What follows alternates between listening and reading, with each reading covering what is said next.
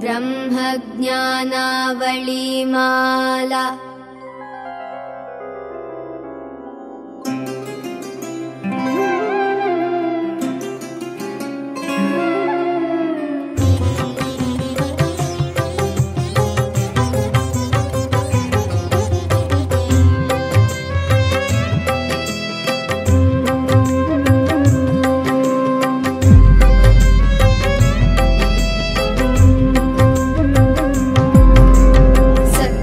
सकृच्छ्रवणमात्रेण ब्रह्मज्ञानं यतो भवेत् ब्रह्मज्ञानावलीमाला सर्वेषां मोक्षसिद्धये असङ्गोऽहम्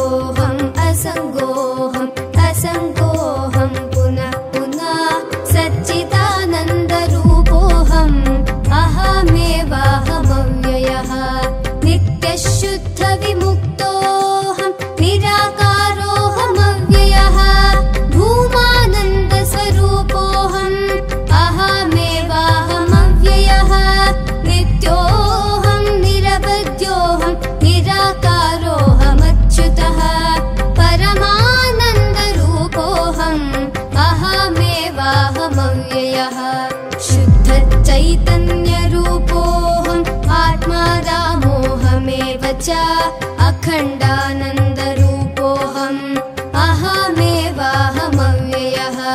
प्रत्यच्चैतन्यरूपोऽहम् शान्तोऽहम् प्रकृते परा। शाश्वतानन्दरूपोऽहम्